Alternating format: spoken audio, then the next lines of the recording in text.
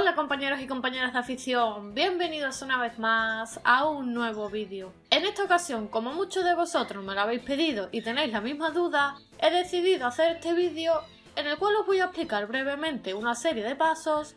para saber si vuestro pájaro, ya sea canario, periquito, jilguero o agapornis, tiene ácaros o piojillos. Y sin más, empezamos. En primer lugar, como ya sabéis porque lo hemos visto en otros vídeos del canal, los ácaros o piojillos aparecen principalmente por varios motivos, como podría ser por ejemplo la llegada de un nuevo pájaro al aviario, es decir, cuando adquirimos un nuevo ejemplar procedente de otro aviario y lo introducimos directamente en nuestro aviario sin haber realizado el periodo de cuarentena.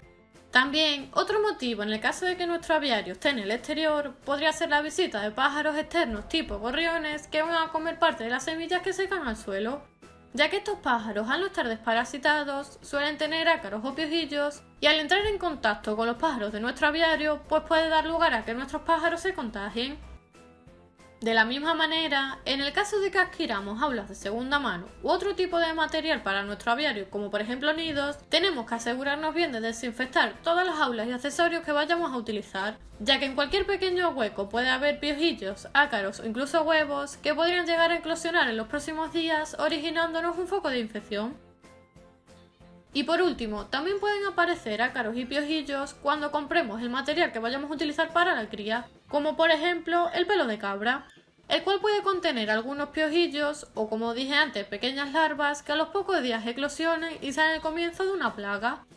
Por eso, mi recomendación es que cuando compréis cualquier tipo de material para la construcción del nido, antes de utilizarlo lo metáis en unas bolsas herméticas y lo congeléis durante unas 24-48 horas para eliminar cualquier tipo de parásito que pudiera contener.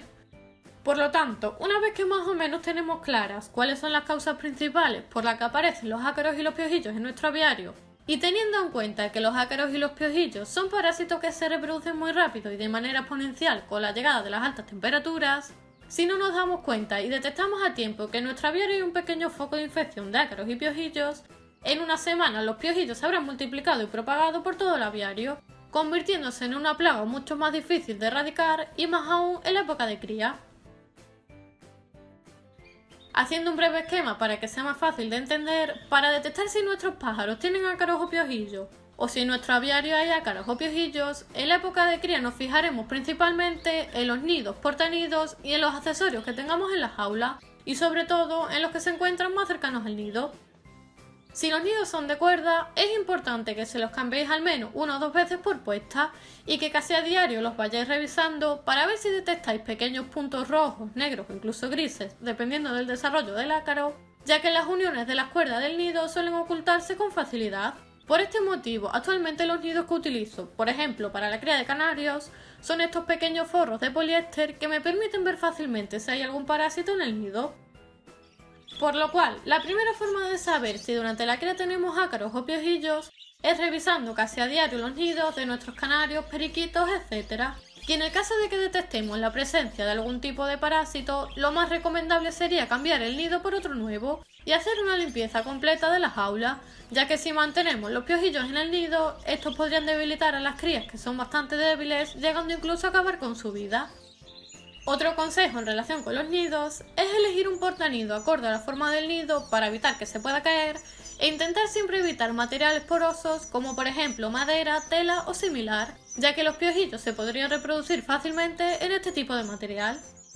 Y el tercer consejo, también para la época de cría, aunque en realidad se podría aplicar a cualquier época del año, sería revisar todos los accesorios que tengamos en la jaula, sobre todo aquellos accesorios próximos a los nidos, ya que durante la cría es donde se suelen alojar los piojillos para salir por la noche y atacar a los pájaros que se encuentran en el nido. Por otro lado, los ácaros y piojillos pueden ser letales en la época de muda para nuestros pájaros, puesto que ya sabéis que es una época un tanto crítica para ellos, debido a que en la mayoría de los casos acaban de salir de la cría y además este desgaste se le une al cambio de plumaje, lo que disminuye sus defensas y lo hace más propenso a contraer enfermedades. Pero ¿cómo sabemos si nuestros pájaros tienen ácaros o piojillos durante la muda? Pues básicamente, como os comenté antes, observando todos los accesorios de la jaula y sobre todo teniendo mucho cuidado con aquellas plumas que se queden entre la jaula y la pared o en determinadas zonas del apiario, propiciando un lugar idóneo para la proliferación del piojillo. Y por último, para saber si existen en cualquier época del año, pues básicamente sería hacer lo mismo, Es decir, revisar todos los accesorios que haya en las aulas, como por ejemplo los comederos, las perchas o posaderos que tienen pequeños huecos donde suelen alojarse y reproducirse los ácaros o piojillos, etc. También es importante revisar las bandejas de las aulas, sobre todo si utilizáis algún tipo de material, como por ejemplo es mi caso, que utilizo papel de periódico para reciclarlo, por lo que suelo levantarlo y limpiar bien la bandeja para evitar que haya ácaros o piojillos, y además ya sabéis que para prevenirlos podéis espolvorear una pequeña cantidad de bicarbonato. Si no sabéis cómo usar el bicarbonato en el aviario, aprovecho para dejaros por aquí arriba un vídeo donde os hablo de los beneficios y usos del bicarbonato en nuestro aviario y en nuestros pájaros.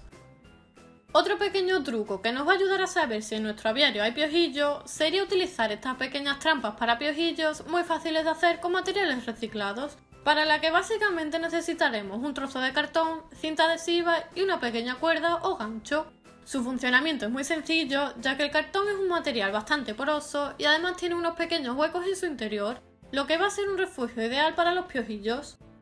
Durante la noche saldrán para alimentarse de la sangre de nuestros pájaros y posteriormente irán a refugiarse en la trampa, de manera que al día siguiente cuando vayamos al aviario y retiremos estas pequeñas trampas, podremos comprobar si realmente hay piojillos en nuestro aviario, ya que en el caso de que los hubiera, pues estarían escondidos en el trocito de cartón. También podemos saber si nuestros pájaros tienen piojillo colocando una pequeña tela o trapo de color claro, preferiblemente blanco, cubriendo todas las aulas durante la noche y a primeras horas de la mañana revisar la tela para ver si hubiera algún tipo de ácaro piojillo. En el caso de que hubiera, se apreciarían con facilidad pequeños puntitos por encima de la tela, lo que nos indicaría que tendríamos ácaros o piojillos en el aviario. Y otra forma de ver si nuestro pájaro tiene ácaros en la pluma sería cogerlo de esta manera y abrirle el ala con cuidado. Y con una lupa y acercándolo a un foco de luz podemos apreciar si nuestro pájaro, en este caso un canario, tiene ácaros en la pluma. Y otro método que también suele funcionar es inspeccionar durante la noche las aulas y el aviario con una linterna o incluso con el flash del móvil, ya que en el caso de que haya piojillos en el aviario podremos darnos cuenta claramente puesto que estos se moverán por la pared o las aulas en busca de un huésped con el que alimentarse.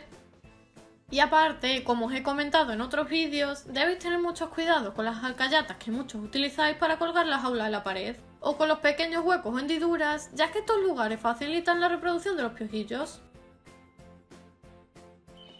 Uno de los síntomas principales que nos indica que nuestro canario periquito agapornis tiene ácaro piojillo es que estén continuamente rascándose incómodos e intranquilos en las aulas, sobre todo durante la noche, que ya sabéis que es cuando los parásitos tienen actividad.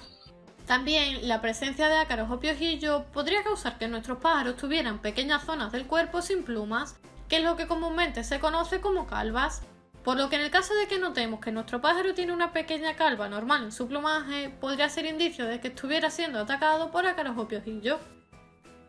Otro síntoma de que en nuestro aviario hay piojillos o ácaros podría ser la aparición de pequeñas costras en determinadas zonas del cuerpo del ave, como pueden ser las patas, que es lo que en muchos casos conocemos como escamas en las patas. También puede ocurrir en el pico e incluso en el caso de alguna citácida, como por ejemplo los periquitos, en la cera. Estas pequeñas irritaciones en la piel nos indicarán que nuestro pájaro padece de ácaros y debemos tratarlo rápidamente o acudir a un veterinario lo antes posible. Comentaros que en el caso de que detectéis que vuestro canario o vuestro pájaro tiene escamas en las patas a consecuencia de estos parásitos, para prevenirlos o eliminarlos podéis utilizar esta pomada casera que os enseño a preparar en el vídeo que os dejaré por aquí arriba. Por otro lado, en el caso de ácaros de la tráquea, nos daremos cuenta cuando durante todo el día y especialmente durante la noche, nuestros pájaros hagan ruido a la hora de respirar y en muchos casos permanezcan con el pico abierto e incluso parezca que están tosiendo. Esto nos indicará que pueden tener algún tipo de problema respiratorio o en la mayoría de los casos que nuestro pájaro está siendo afectado por ácaros de la tráquea, por lo que tendremos que tratarlo en la mayor brevedad posible para que se recupere y pueda continuar llevando una vida normal. Como ya hemos ido viendo en anteriores vídeos y básicamente os he ido comentando también en este vídeo, los ácaros y los piojillos son un tipo de parásito que se alimenta de la sangre de nuestros pájaros, al igual que por ejemplo ocurre con las pulgas o las garrapatas en gatos o perros por lo que este tipo de parásitos van a debilitar su organismo, causándole en muchos casos un malestar general, debilidad y anemia. Por último, para finalizar el vídeo, si queréis saber diferentes formas y métodos de prevenir e incluso de eliminar los ácaros y los piojillos, por aquí arriba os voy a dejar una anotación en la cual si haces clic Podéis ver otros vídeos en los que os explico todas esas formas y métodos de prevenir y eliminar los ácaros y los piojillos. Espero que estos trucos y consejos os sirvan. Si es así, no os olvidéis de compartir el vídeo por vuestras redes sociales y grupos de WhatsApp para ayudar a otros creadores. Si no estáis suscritos aún al canal, os invito a que os suscribáis aquí abajo y a que activéis la campana de notificaciones para que recibáis un nuevo vídeo todas las semanas. Y como siempre, les espero en el próximo vídeo.